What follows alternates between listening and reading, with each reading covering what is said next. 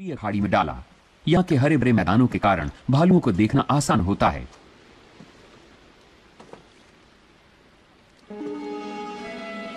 जब पहला भालू नज़र आया, तब यात्रा की थकान से एरिक की आँख लगी हुई है। उसका पहला विशाल ग्रिजली। भालू काफ़ी सहज लग रहा है। वो आक्रामक ढंग से शिकार नहीं कर रहा है। वो तो ताजी घास चल रहा है। ये लोग एंड्रेस के भालुओं के प्रदेश में पहुँच चुके हैं।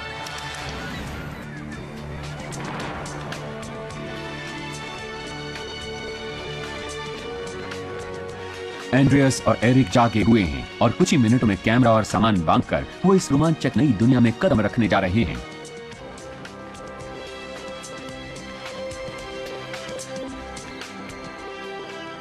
तभी उन्हें विशाल पदचिन्ह मिलते हैं। हर चिन्ह एंड्रियस के हाथ से ज़्यादा चौड़ा है। ये है एक विशाल नरभालू के पदचिन्ह। तजुर्बे ने एंड्रियस को सिखाया है कि उन्हें सावधानी से जाना चाहिए। अगर वो भालू को चौंकाए नहीं तो वो काफ़ी हद तक सुरक्षित हैं। भूरे भालू कुछ भी कर सकते हैं लेकिन वो आमतौर पर बिना उकसाए किसी पर हमला नहीं करते। एरिक एक भालू है वहाँ झाड़ियों में। आगे बढ़ने से उन्हें ये देखकर हैरानी होती है कि पास की वादी में अन्य भालू भी हैं। एक मादा भालू और उसका दो साल का शावक। एंड्रियस ने तुरंत माँ को पहचान लिया।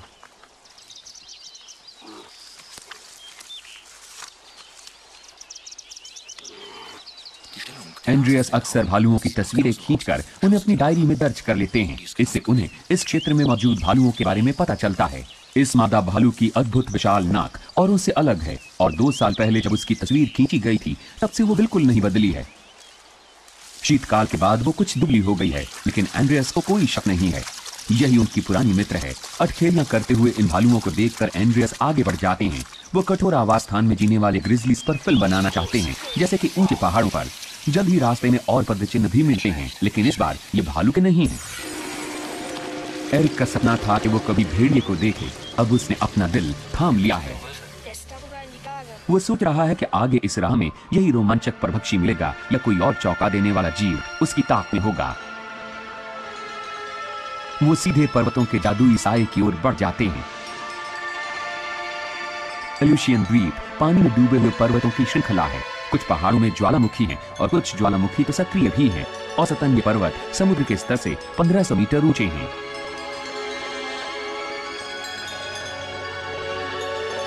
ये दोनों ऊबड़ खाबड़ पर्वतों पर चढ़ जाते हैं। एक खास नज़ारा उनका इंतज़ार कर रहा है। कई ग्रिजलीज के बाल कभी कभी सुनहरे हो जाते हैं, लेकिन तेरह वर्षों में एंड्रियस ने इतने हल्के रंग के भालू नहीं देखे थे। ये अस्थाई भी हो सकता है या फिर स्थायी भी। इस शावक के आकार से लगता है कि ये करीब डेढ़ साल का होगा। हल्के सफ़ेद रंग के बालों के बावजूद ये शावक एल्बिनो नहीं है। इसकी आँखें भूरी हैं, गुलाबी नहीं, त्वचा गहरे रंग की है। ये तो बस अद्भुत रंग का भालू है। घुसपैठियों की गंध पाते ही माँ अपने शावक को वहाँ से ले जाती है, कैमरे से दूर। पहले दिन की शानदार शुरुआत का लाजवाब अंत। कई भालू दिखाई दिए, और ये तो महज शुरुआत है।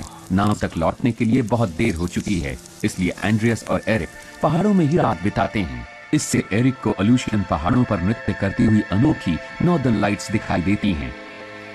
ये विचित्र प्रतिक्रिया तब होती है जब बहुत ज़्यादा चार्ज वाले अणु धरती के चुंबकीय क्षेत्र से खिंचे चले आते हैं और पृथ्वी के वातावरण में मौजूद गैस से गुजरते हैं। वापस टार्डिस पर लौटकर नहा धोकर ये दोनों एक नए दिन की शुरुआत से पहले नाश्ते के लिए बैठते हैं, लेकिन वो बहुत देर तक ऐसे आराम से नहीं बैठ पाते। एंड्रियस की प्रिय मादा भालू नाश्ते के समय वहीं चली आती है। और वो अकेली नहीं है, उसके साथ उसके तीन शावक भी हैं। पिता और पुत्र हड़बड़ाकर अपना कैमरा संभालते हैं। वो नज़दीक से तस्वीरें खींचने के लिए तैयार हैं।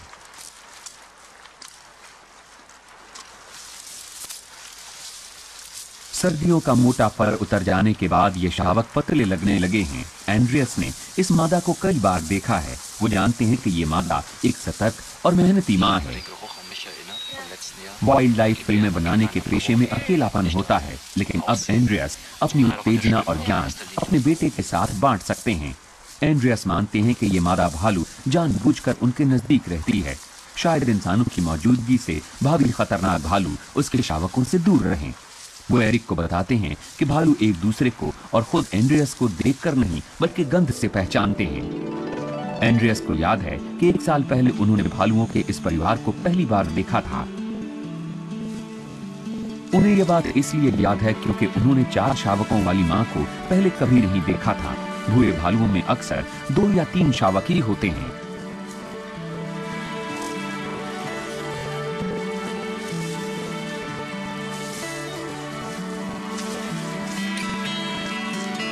कई हफ्तों तक इन पर नज़र रखने के बाद यह परिवार लुप्त हो गया था। कुछ महीनों बाद जब ये भालू फिर से मिले, तब ये स्पष्ट था कि उन्हें भी एंड्रियस याद थे। भालू पूरे विश्वास के साथ उनके सामान का निरीक्षण करने लगे।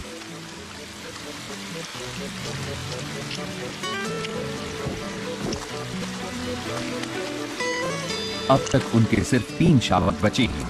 यह संभव है कि यह किसी विशाल नर भालू का काम है।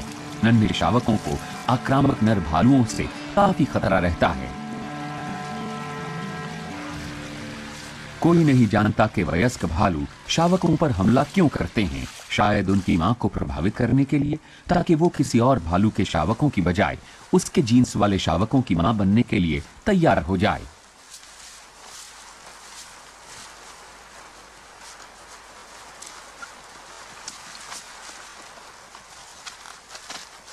अब ये ज़्यादा देर तक भालुओं के साथ नहीं रह सकते।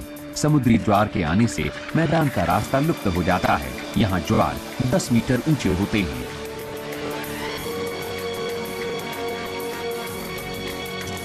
यही अवसर है इस खाड़ी से नाव को बाहर निकालने का। आंड्रियस अपने बेटे को अपनी प्रिय जगह दिखाना चाहते हैं। फ़िल्म बनाने की नहीं, बल्कि मछली पकड़ने की।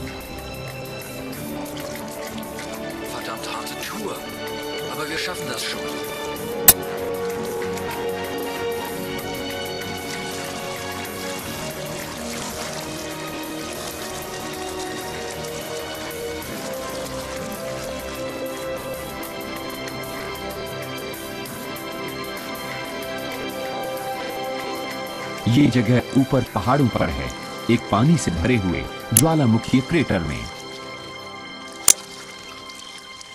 इस रास्ते से हर साल सैमन मछलियाँ गुजरती हैं।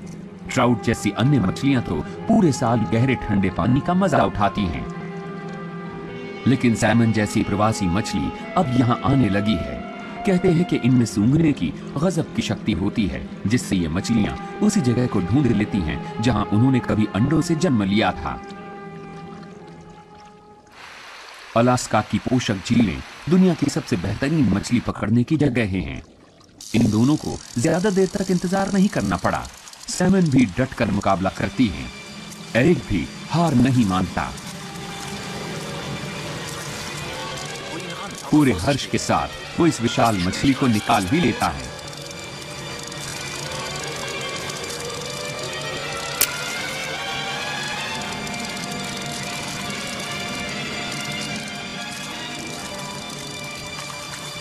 ये उसे हमेशा याद रहेगी।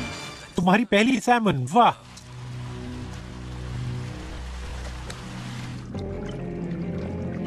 एंड्रियस इन मछलियों की तादाद का फ़ायदा उठाकर इनके व्यवहार की तस्वीरें लेते हैं।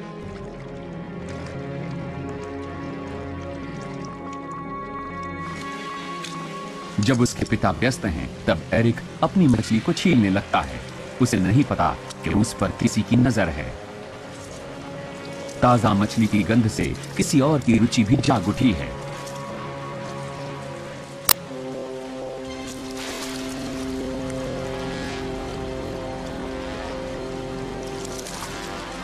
एरिक से आठ गुना ज़्यादा वज़न वाला यह विशाल पर परभक्षी आगे बढ़ता है।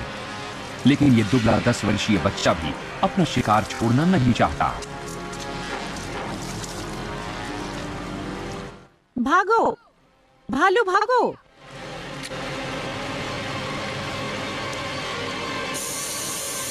जब भी खतरा महसूस हो तब मिर्ची छिड़कने से परभक्षी को भगाया जा सकता है।